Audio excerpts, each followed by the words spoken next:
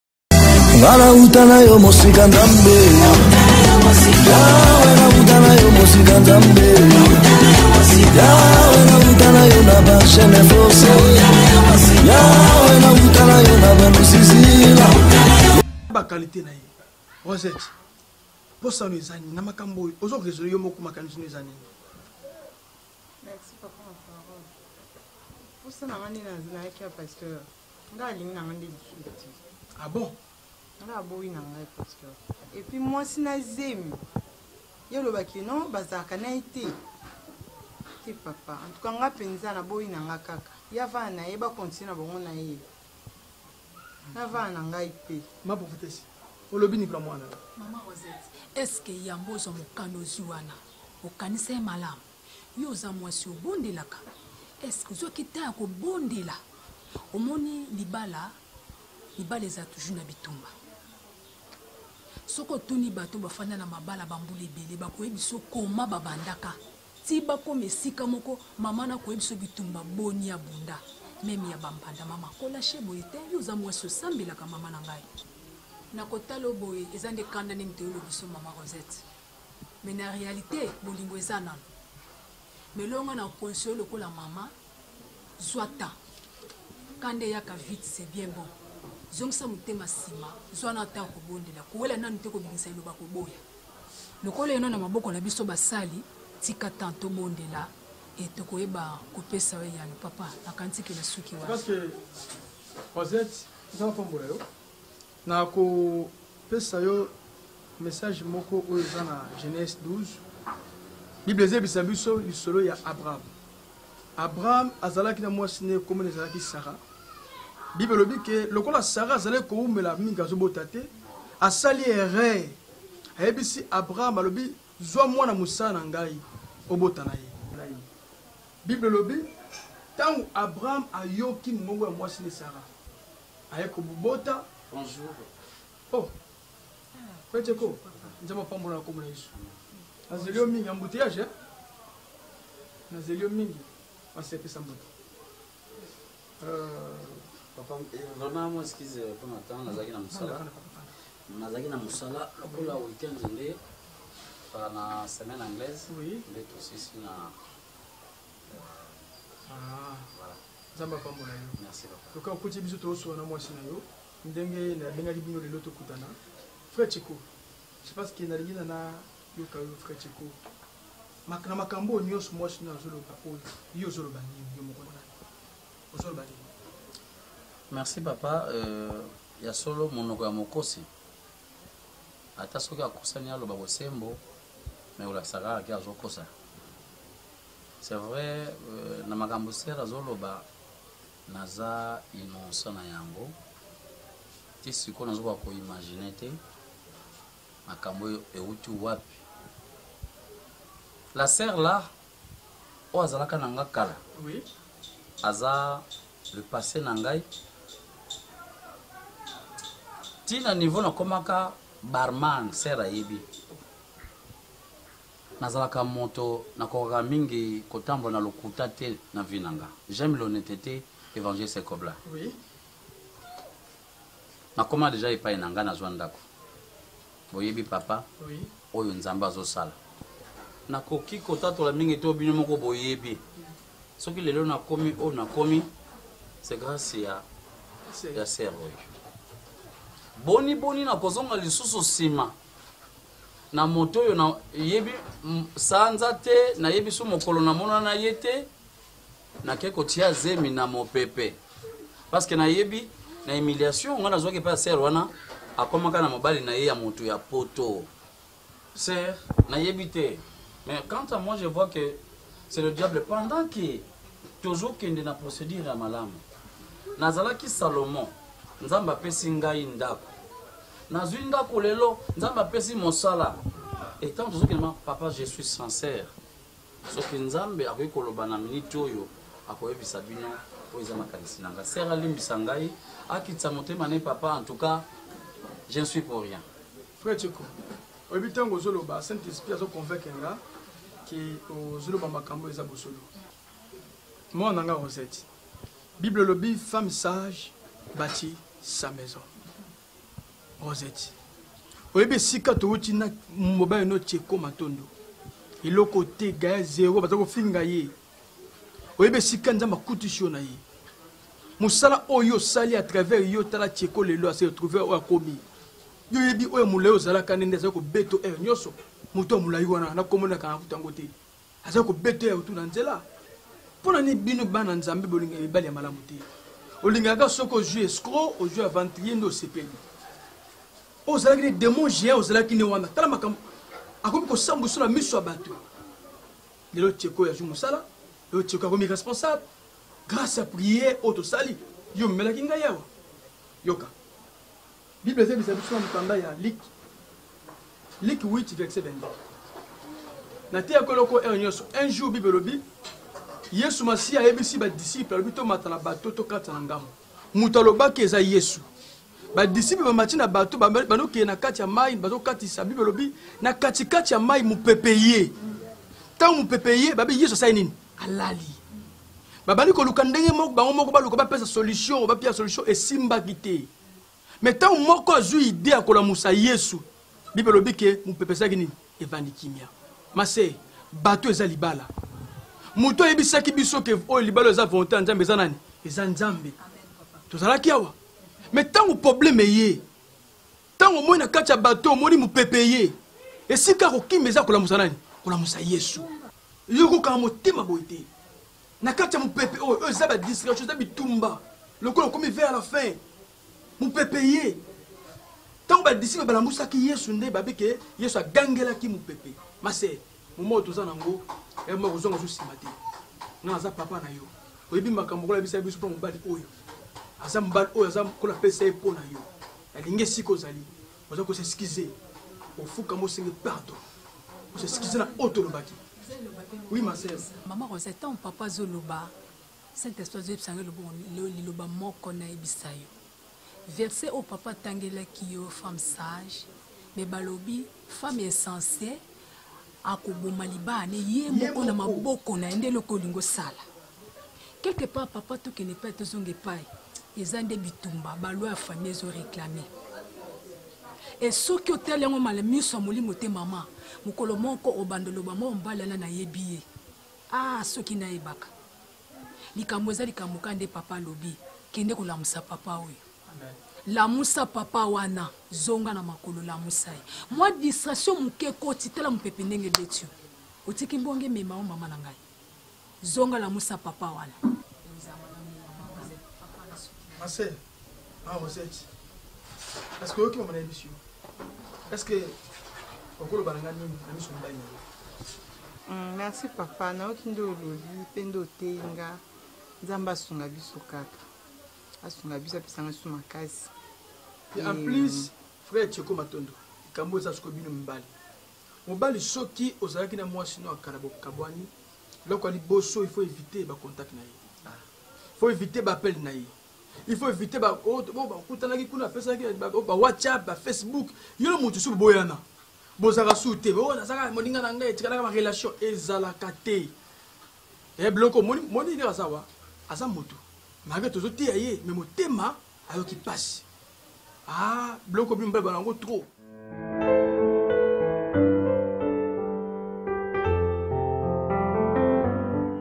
wongo ambibi oko adi large part de kibolabola kibolabola et c'est lui qui est nicho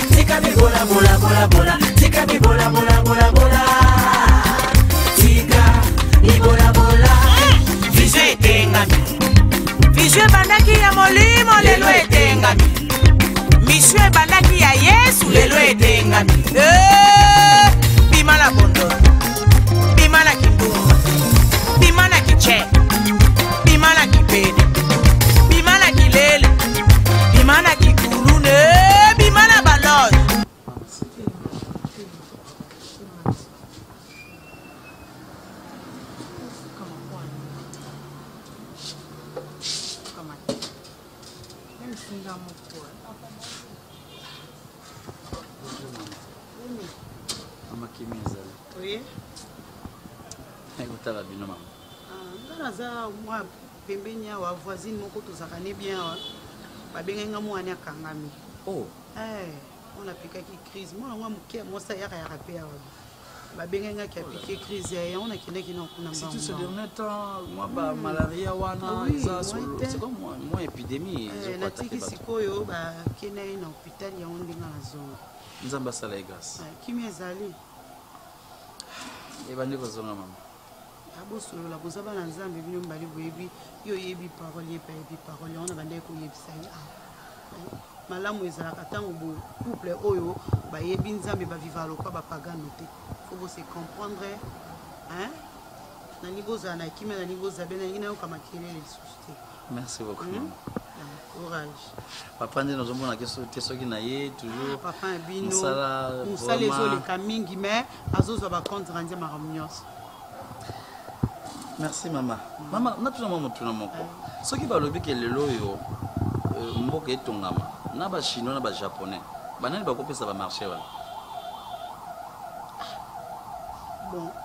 nga vraiment makambo wana fotuna papa ya bino parce que bachinois batongaka ça dépend ya mbongo bopesi bango mm. prince mpe wana bakosala banzela bango bakosala na bino mais bajaponais tala eh, makadani basala poids lourd ti lelo mais au moins bachinois toye tomona mwa misala na bango par rapport à bajaponais mais bajaponais mpe donc mpo na ngai c'est mieux nde balobaka vaut mieux un démon que tu connais qu'un ange que tu ne connais te euh,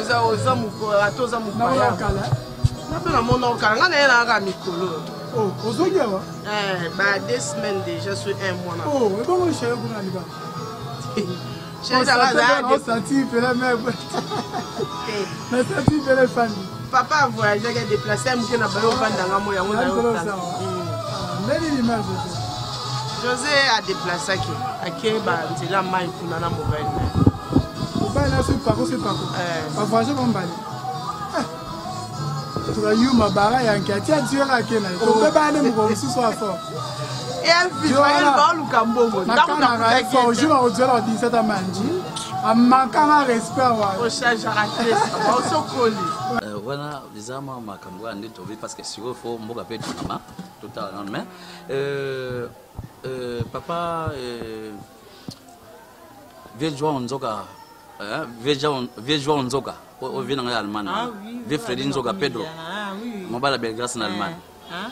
mobali ya belgrace eh. atuninga ndenge nini batuninga ndenge nini rosa mama rosa ndenge nini nga abita en tout cas eh, mama rosa eh, aza mpenza kimia mpenza kimia na allemagne kuna nabenga bango balesel noir na allemagne voilà mama emikenge nga mwa kosala mwa baankete moko ya makambo yango nayo comprendre ke satana a mabe tozalaki na séminaire ya 9 jours na église na biso pasi na biso ateyaki biso se goliath nayo comprendre ke goliath nde moto yanga atema na ka na biso goliath mpena yanga ya otelema lokola totelemelaki ye makasi parce que goliath akaka kobela philistin le diable mm -hmm. ayaka kati na bato mama biso peut-être tozokende na parcours ya libala me baoyo babala bayebi balobaka nini diable abonisaka libala makasi mama tala lelo nakomi mpe moto na miso ya bato lelo bakomi cheko nakomi cadre lelo nayeba liloba nzambe lelo nakomi na respect na famille mama ata naza nyama nakoki kozala ingrate envers yo S'il te plaît, fais-moi bisous, bébé. Je t'aime. Je te réserve une semaine. topesi yo merci topamboli yo bozanza bible ezoloba ke bon dieu epa totie makolo na biso bokonzi epesameli biso kokoma na biso awa nzambe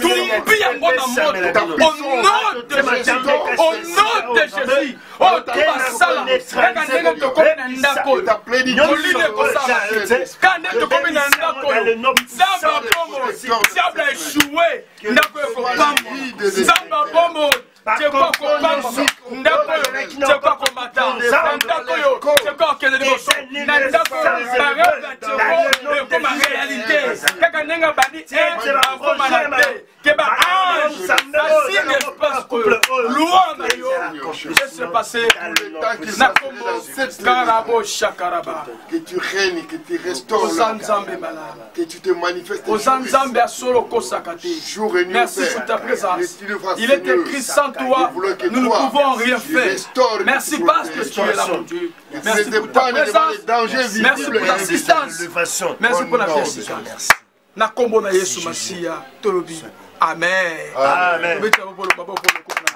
Amen. Kola pambola biso. Amen.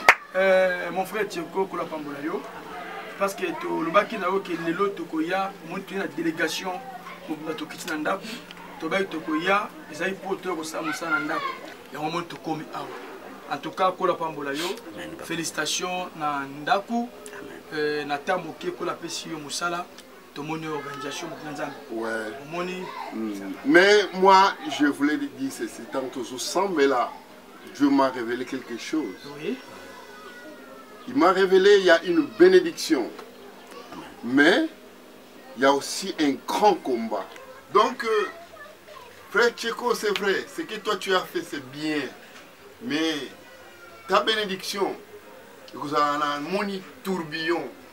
tout lion moko ya combat et ça demanderait que tu peux chercher la face de Dieu vraiment maman maman comment nani Rosette maman Rosette oui. maman Rosette boza na lipamboli mais lipamboli wana kote mosusu eza na bitumba tulio bitumba alors bible ezoloba résistez au diable et il fuira loin de vous Amen. soki bomilembisi bokoya kokwea na motambo ya satana parce que diable akolinga te lipamboli ezala parce que eh, esika nyonso lipamboli eyaka bitumba mpe telemaka soyez prudent mama rosette likambo oyo namoni awa eza Tango pe tokendaki kosala prière epai ya honorable euh, Bernard Kayumba.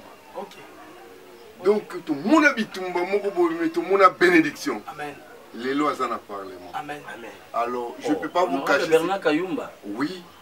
Si si, uh, azaki eli. Ah, oui, azaki eli na na, na Lukunga kuna. Si si. alors euh, bitumba oyo nga namonaka sukaprésident moyombe gauche babwakaka ye président champion moyombe gauche abwakaka ye alobelaka ye mingi parce que mwana na ye alors moyen na kashe yango eza te wana ezalaka papa conseil ya papa na ngai kabundi walesa claude kabundi walesa soki omoni likambo mwana sala nini loba nzambe aza lokumu Euh, frère Tcheko, Yoki, Makambo, message pour la lobby.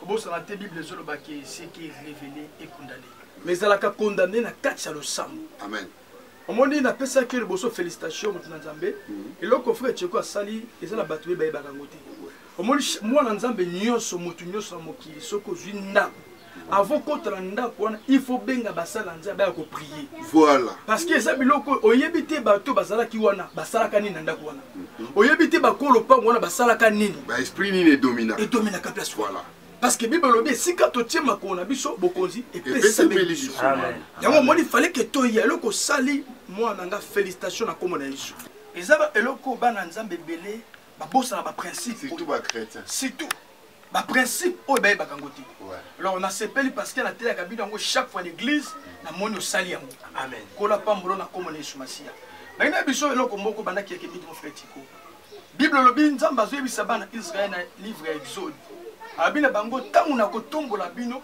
bobosana te libango etayaki bino oyo oh, libanga ya solo oyo bible ezoloba eza jésus christ de nazareth mon frère tiko oyebi esika nzambe azwi yo ozalaki eloko te bazalaki kosinga yo bazalaki koseka yo oh yango moi bible ezobakela mokanda ya psaume 37 nzambe alobi confiez vous à mes serviteurs les prophètes et vous réussirez le fait koconfiaki epai na biso basala nzambe tala résultat ozwi mosala tala résultat prêtre eko obi toyebaki lobi afandaka epai na bango alalaka na salon lelo okomi na place na ye okomi lelo responsable mon frère umela batela nzambe na motema na yo kangama na nzambe kotika nzambe te eya butu eya moi mabe na biso moto na nzambe basala bana na nzambe ezala nini ntango oza piaka oluki nzambe ntango ozwi mosala moyo oyo yesu eglize eza te ekomi kaka oyo ta fo nakende mosala esu en retard mais ntango obosani ke ozali na eloko te nzambe azwi yo daleneya ah. atombolo eloko mon frère esongo nini nini okoyebisa nzambe na oyo nzambe asaleli yo Papa, merci na exhortation. C'est vrai, na mikotela ki or qu'il a fallu dès que avant même basokola ndako, mama sokola ndako, bozala déjà. Moi bolimbisi yango namonaki nga bite conscience na ngai en tant que ba chrétien, il faut que ndako epambama. Ce qui est vrai, lelo nakomi oyo nakomi cheko euh, papa enveloppe mama mama kende na chambre ya motambe tona enveloppe na kopesa mama euh, eza bongo soko oke na chambre motambe mhm. papa enveloppe na kopesa eza d'abord mpona action de grâce zela zela nono oyoka pembena eza mpona action de grâce mpe lisusu na kanisi omoni mpe tolati fondation ali chibala asbel euh, ongd pendant esika naosala na agence na dkatm lisusu marché mosusu eyelaki ngai nakomi responsable ya fondation oyo alichibala oh. fondation oyo soki ozomona baflat hotel nyonso bakomi bel aspect mm. na yolo na tumbumani na kaoka mpe efongwami fondation oyo nde na mokolo na yango le boss aldor chibala yango wana ezotonga baflat hotel nyonso bakokoma euh, bel aspect soki otali na kimwenza na tumomani petit jamar rompe jamar soki oye na kauka eh, na poko cercle na trasi balela bibembe eloko efongami wana nakomi gérant lisusu bapesi nga responsabilité oyo yango na kati ya enveloppe wana euh, na prémisse premier salaire oyo nazwi na koti ya fondation na action de grâce wana mm. eh, mama okende oh, ozwa vraiment papa merci parce que mario merci ya solo naza kaka wana nazokoba c'est vrai naza na bafaiblesse eh, nzambe akosunga biso pase gaitan pase gaitan akambi biso namoni yo mpenza sava mwana nga mpenza tala ndenge obimi okola ministre moko to depute oyo nini nzambe azosala mama nzambe azosala mes condoléances ah merci ndenge toyoki ah vie na biso lutumba mpenza ndenge akei ah, me ake mosika efalaki kaka awa omoni bake presque ndenge moko na papa wemba tala papa wemba na avril ye fin ye na fin ya donc presque ye na eh, si na fin ya avril non si na fin ya mai ya, ya mars si, si. sali bakoyala presque euh, banini na bango ezala ah, mais papa lutumba un monument icône mm. tobenge nani ah, licone icône na biso wana te nani akoremplace ye moto alinga koloba masese na masese soki azoloba na yo likambo kaka na masese mokolo masese mpenza eloba yo ah! eloko moko ya malamu asali relève ayebaki déjà ke nalembi mm.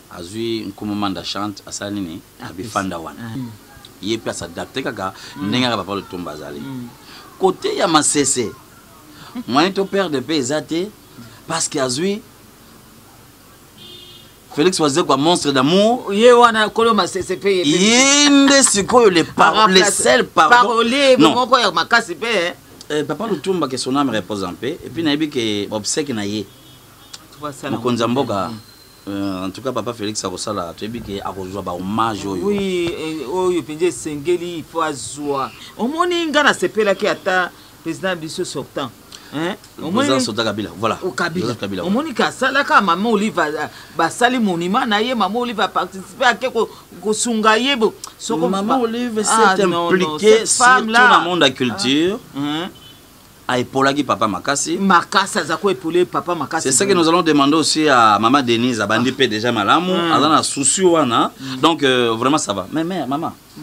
euh kama mimi ngawa yo soko zo pusa na bosiki likambo moko ya malamu hmm? si ya malamu ah, mwana ngai seke likambo nalingaka kaka boye mwana ngai lobana ya malamu ezaki omoni euh, na mosala par rapport ba fonction ya mm. finance nazo ko assumer ba matisiyo mama me nazomata kaka eh, nzambe ezwa lokumu oye mama nazomata parce que l'honnêteté mhm. euh, le savoir faire bacapacité nazala oui. yango eh. et puis maboko milai te mm. esika naye kokuta société na 10 franc na caisse nga na ye nabakisi ata lisusu nabakisi Hum alors pdg na biso amonaki ke eh, lokola naza nanu marie te par rapport ba fonction wana il faut na nakoma responsable mm. responsable do il faut nazala marie baza na raison pour que vraiment na maintenir ba poste na parce que moni mama mbongo bapesaka n'importe qui te mm. capacité oui mayele oui mais il faut nazala na kimia parce que mwasi nde moto avandisaka mobali kimia Pour ce la société eza oblige bapesi nga un mois.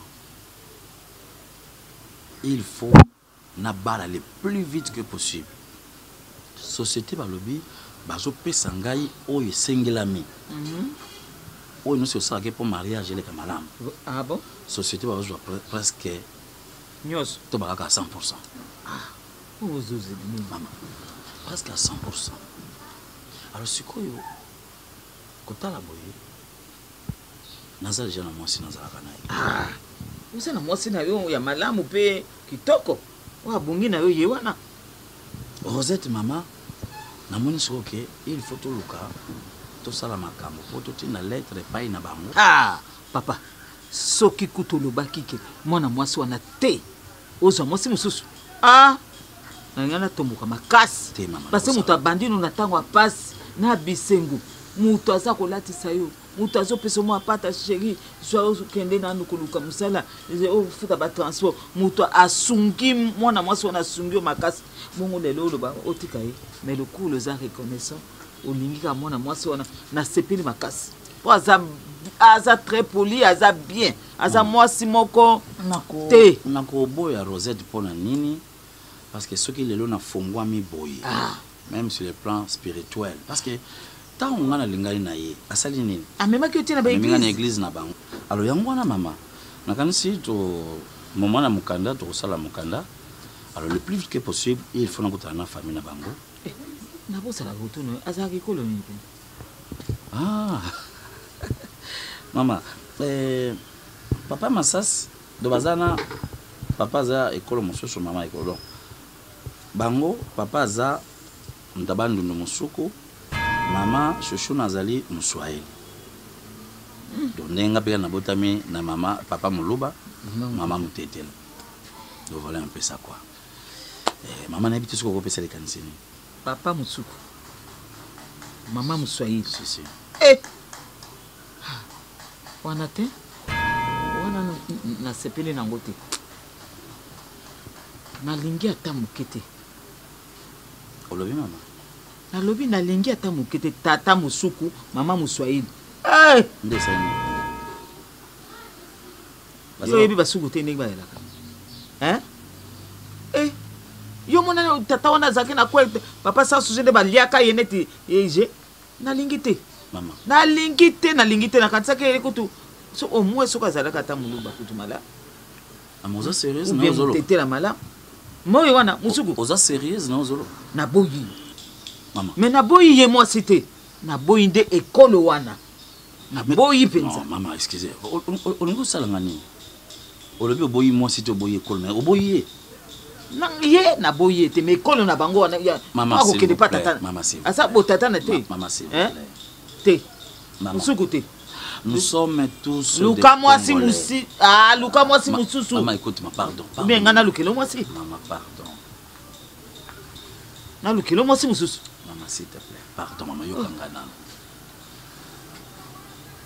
mosuku te